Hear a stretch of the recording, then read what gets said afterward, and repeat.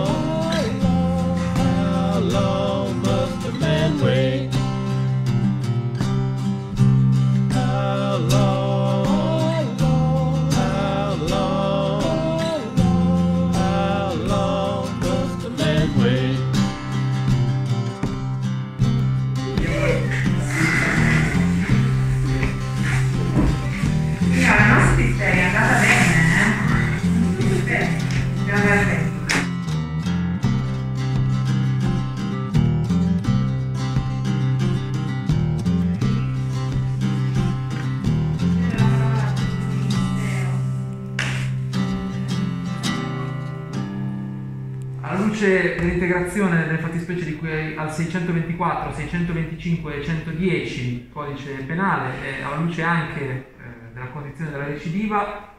la pubblica accusa chiede la condanna a tre anni di reclusione e 1000 euro di multa.